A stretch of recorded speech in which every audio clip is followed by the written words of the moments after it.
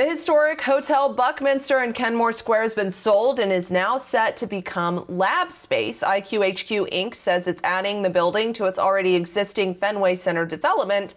That's on Brookline Avenue and Overland Street. No word on how much they paid, but the new owners say they plan to work with the community on future plans for the site. Katie Johnston for CBSN, Boston.